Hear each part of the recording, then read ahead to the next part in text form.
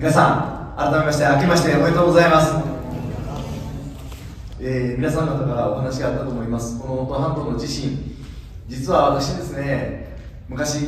あの通産省と役所に勤務してたんです。でその中で何年間か首相官邸とか官邸周りに出向していてまあ、内閣官僚という言葉が最近あるんですけど私その走りなんです。で、えー、1995年の阪神・淡路大震災が起こった時に私村山内閣というこれは自民党も連立内閣なんですがあのトップが村山富一さんっていう社会党のあの今もご健在でありますがおじい様だったんです。その時に大きな震災が起こって本当にあのいろんな無力感も感じました。多大な規制が出たうん震災でありました。そして東日本大震災。この時は政権が自民党じゃなかったんですね。で、まあ、私も実は官邸をもう去っていたんですがあの政党の方の幹事長局にいたんですがこれも、まあ、いろんな思いで反省点の多い震災でした、まあ、原発の事故がありましたんで。で今思うにですねやっぱりこれは国の役割そして自治体の役割。自治体といった時に市もあります。神戸市。あるいは東日本の場合いろんな町がそれぞれ被災されました。で、まあ、今回能登半島やっぱり市府あるいは県そして国が一体となってとにかく一丸となってこれに当たらなければいけない。同時に大事なことはですね自衛隊とかそして警察とか消防がそのことに当たるだけでは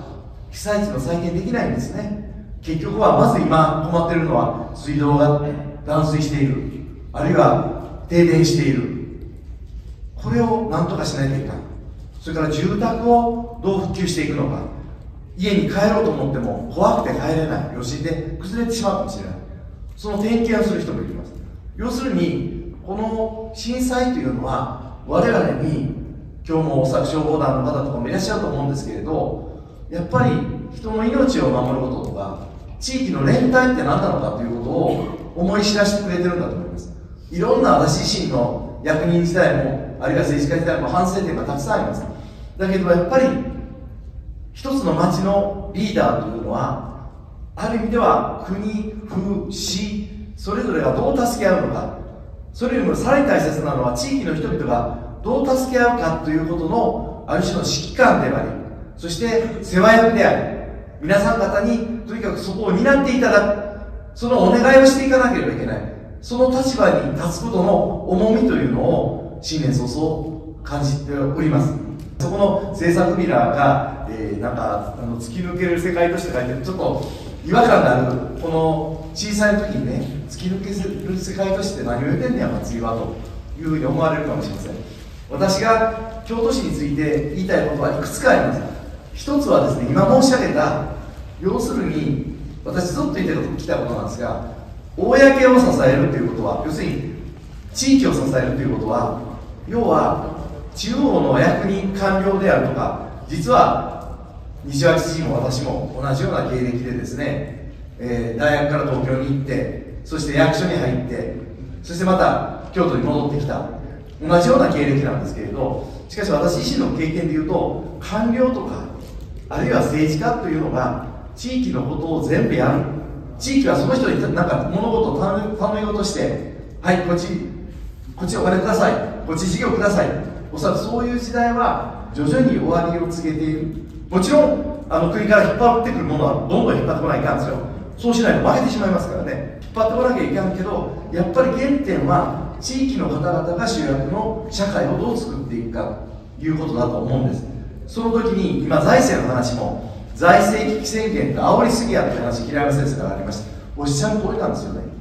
他方でしかしやっぱり京都はねいろんな重荷を背負ってるんですよ。本来だったらもっと早い時期に高度成長期にいろんなインフラ作りをしとけばよかったのが道路にしても地下鉄にしても着手が遅れたんですよ。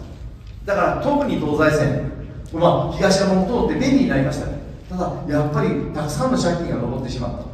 今いろんな国からの補助金交付金それこそ吉井先生いろんなことを国交省に掛け合っていただいてオーバーツーリズム対策でなんとか京都市の交通都市交通なんとかできないかいろんなことを掛け合ってくださってますよ。これものすごく大事。ものすごく大事なんですけども要はこの町の町づくりをどういうふうに都市を経営していくかということを考えなければいけない。んですそのその時に財政というのは実は国からの補助金交付金っていうのはやっぱり人が決まってますよね。補助金ですから補助事業ですから。そんなことを考えていくと京都の中で自由にできるお金っておそらく500億円ぐらいしかないんですよ。この単位をどうやって大きくするかを考えなきゃいけないんです。私自分自身が役人でした。今中央のキャリア官僚はみんな20代とか30そこそこで辞めることを真剣に考えてるんです。なぜか仕事が辛いからここまでボロッカスに言われてボロッカスに言ってるのは私が昔所属してした政党のね、えー、慣れの果てって言ったら悪いけれどそういう人たちがですね役にいじめてるんですよ。いや私を応援していただいてる方もいらっしゃるからそんな人ばかりじゃないんですよ。だけど良くないのはとにかく身を切る改革とか言ってですねかつて民主党も政治主導といって政治家がいい格好して官僚叩いてるだけなんですよ。本当に政治家が責任取るならまだいいんですよ。官僚叩いてるだけで全部雑務は官僚に押し付けてでいいとこだけ自分が取る。で格好だけつけるから後でそれについつま合わせるのに官僚は必死になって徹夜徹夜なんですよ。だからこういう公に働く人材をいじめるような改革をしたらいかんと思うんです。改革じゃないですよ。改悪ですよ。でこれは要するに京都という町についても言えることなんです。とにかくカットカット。で何パーセント削減したら世の中財政赤字が消えてなくなる。消えてなくなりませんよ。言ってるだけですよ。かつて我々十何兆円をあの無駄をカットします。って何も出てこなかった。で事業仕分けをして1番を目指してる人を叩いてそして2番ってダメなんですかなんてことを言って結局日本の競争力そう言えるんですよ。私の反省を込めて言えばいろんな国立大学法人法人化した法律化ケースが出る。その結果おそらく今はまだいいですよ。30年前の成果が今出てますからノーベル賞まだ京都大学出てます。おそらくこのままいけば20年後30年後ノーベル賞で中国はおろか韓国にもおそらく遅れとるような形になってしまいます。何のための効率化だったのか。国立大学の競争力弱まってるじゃないですか。優秀な学生が体力衰えてるじゃないですか。やっぱり京都もそうだと思います。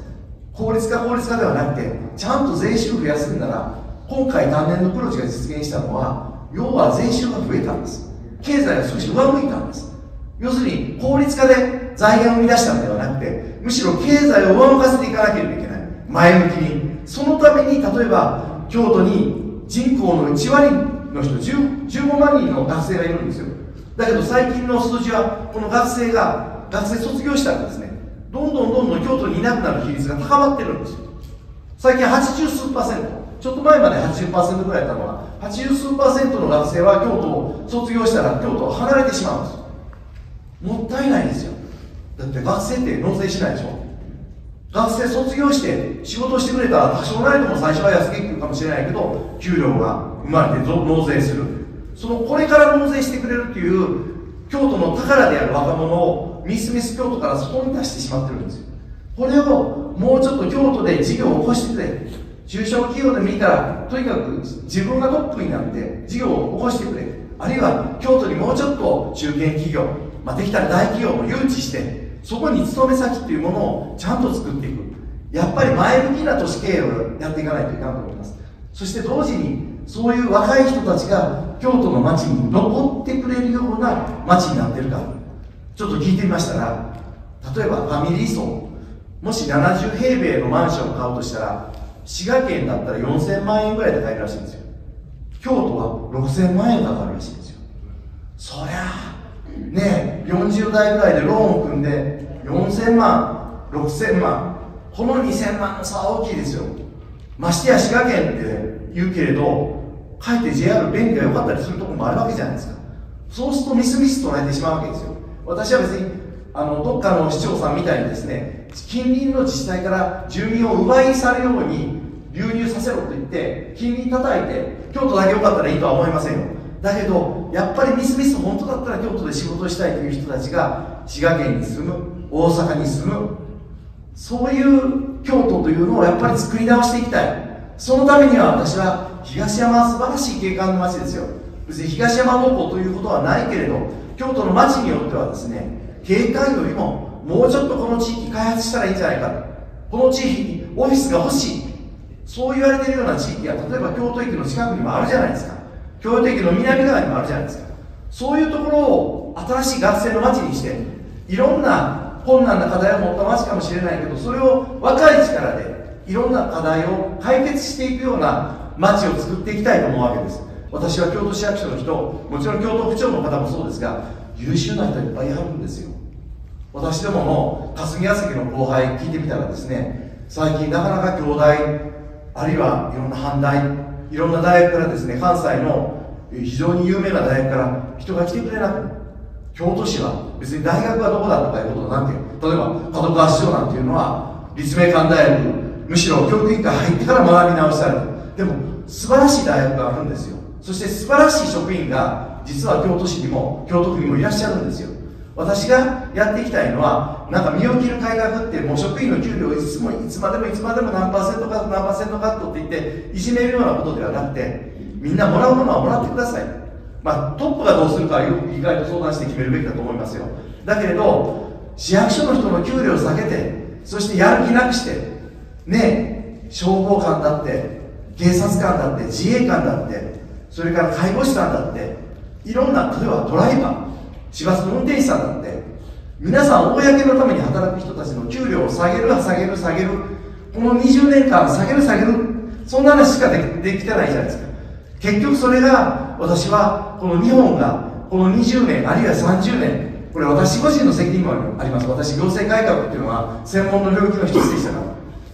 カットカットカット行政改革改革と言いながら日本の競争率は世界の競争ランキング30年前トップだったのがいつの間にか30位に30何位になってしまった。やっぱりちょっと前向きにむしろ市役所の職員の方はそのアイディアをどんどんどんどん市長の耳の痛いことであっても言ってもらえるような風通しのいい市役所を作りたい。それをしかも市役所の中の知恵だけではなくてですね地域の方々にいろんな分野の専門家の方々いらっしゃるんですよ。今この被災地の復興をそれぞれ例えば通信の専門家通信の専門家でですね役所の人じゃないですよ。で電気事業者通信事業者の方々の知恵を得ながらどんな通信を作っていくのか。そういうことことことをそれぞれ司司の専門の方々あるいは地域でいろんな暮らしをしていろんな自治会とかコミュニティを見ておられる方々にこの街おかしいよこういうことを工夫したらええんちゃうかおまわりさんが増やすだけが違うんじゃないよ地域の人たちが学区をパトロールするようなそんな形でもっと地域の人たちが参加して子どもたちの登校下校の安全を見守るような工夫が京都の街ならできるよ。う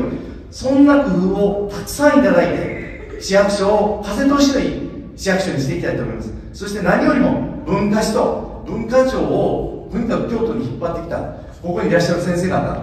それから平山先生。含めて皆さんの大成果ですよこんなことは他の町で。一つもないんですよ。日本で初めてですよ。こんな中央省庁のど真ん中の役所を持ってきたっていうのは。だけど文化庁が来たから全てが解決するわけじゃないんですよ。その文化庁を僕はいつも国政吉井先生に陳情は文化庁の予算1000億しかないんですよ。この前西脇知事に話しました。1000億で高速道路を最新の高速道路何キロできますかって言ったら、まあ、5キロぐらいですかね。それぐらいの予算しか文化庁ないんですよ。だから文化庁の予算をちょっと増やしていただく。そしてそれが要するにその文化庁の事業の相当部分は京都に落ちるわけですよ。だって日本の文化の高ですから京都の町はそしてそういう文化庁の力を引き出すのはさっき言った最初に戻ります平山先生の話に戻りますがやっぱり財政が厳しいって言いますけどこの京都の経済の裾野を強くしていくかということだと思います。そしてそれは若者の住みやすい街それを改善してそして結果として例えば京都発のベンチャーをもっともっと作っていく。ね京セラさんありますよね。任天堂ありますよね。古い事業清水焼の事業あるいは、えー、それこそ花